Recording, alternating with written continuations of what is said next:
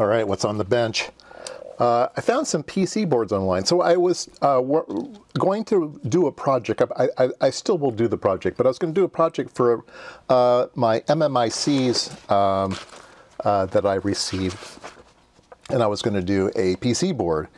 And um, I thought that maybe somebody else had done a PC board in China. I, I remember testing some parts a long time ago that were MMIC based amplifiers and stuff, and I thought maybe I get one of those or something. Anyway, I ran across these, and uh, these are, I'll show some closer pictures later. Um, these are from uh, this fellow, WA5VJB.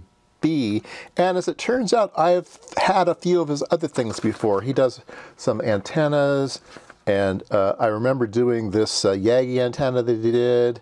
And I think I've did I did the log periodic that he did. Uh, there are some other ones, but he does um, he does some uh, MMIC uh, uh, PC boards. So I ordered some, and they were eleven dollars. And I I thought that I only got five, but I actually got five of each. So there's two different kinds.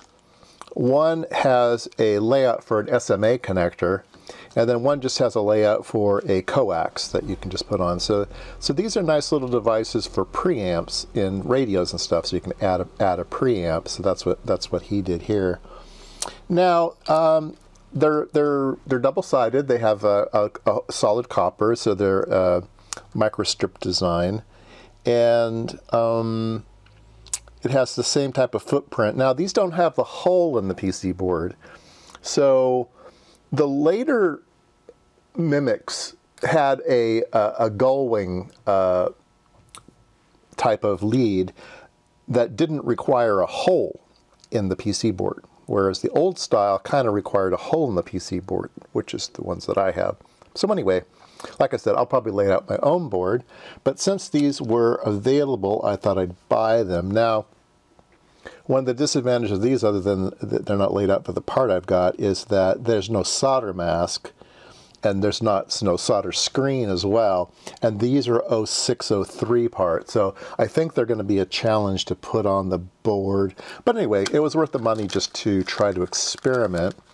So I don't have a lot of 0603 parts. And so, uh, in fact, this is the only this is the only selection of resistors that I have in 0603, so not not a very big re, big selection, but you know enough to do certain things.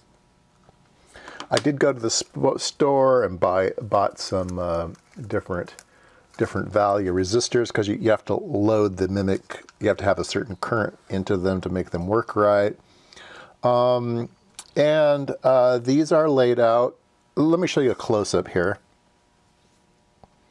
So they do have a bias T network. Uh, it looks like you can put an inductor and a, and a resistor, and then there's some bypassing. There's another capacitor, and then some other resistors, and other capacitors, and so it's got a lot of stuff in it. Don't know if you need all that stuff, but yeah, it's all in there. So, all right. So um, if you read the data sheets for the MMICs, the inductor in the bias T network says it's optional.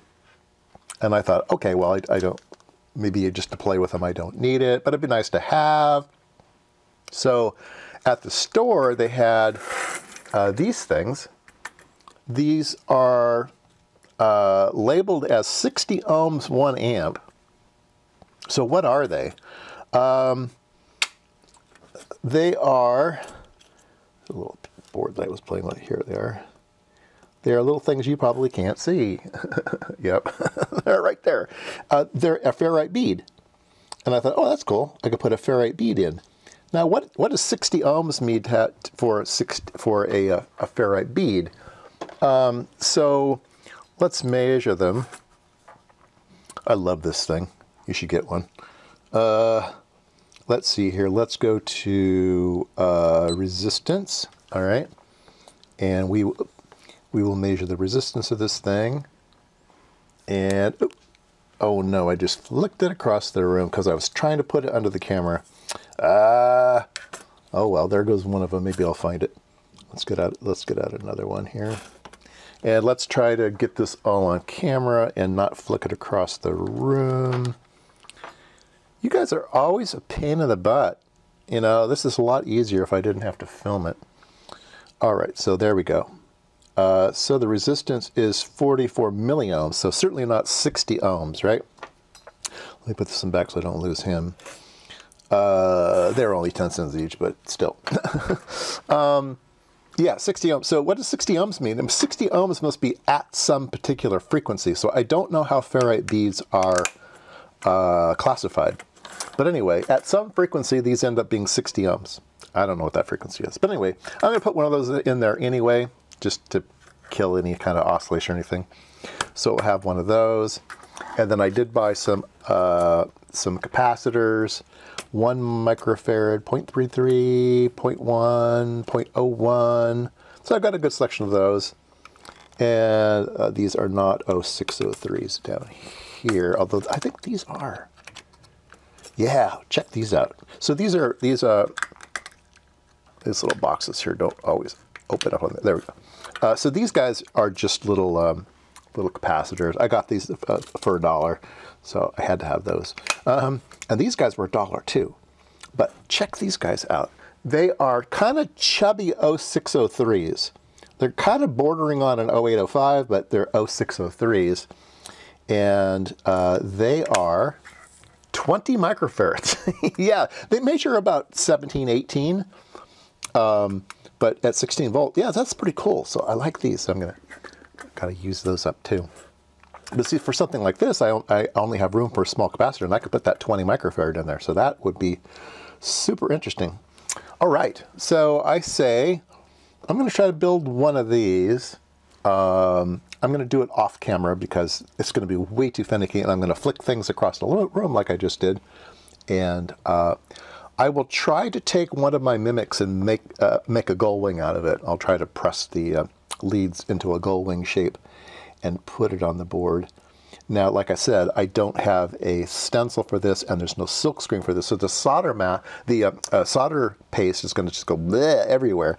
So I don't know if I want to put this in the oven or I want to do them by hand. I think I want to do them by hand, one at a time. I th otherwise, I think this thing's just going to get away from me. Um, when I do my own, I'm going to do a stencil so everything will work out great. Because in the past, I've had lots of problems with 0603s, um, and maybe a stencil is the key. Anyway, that's what I'm up to today.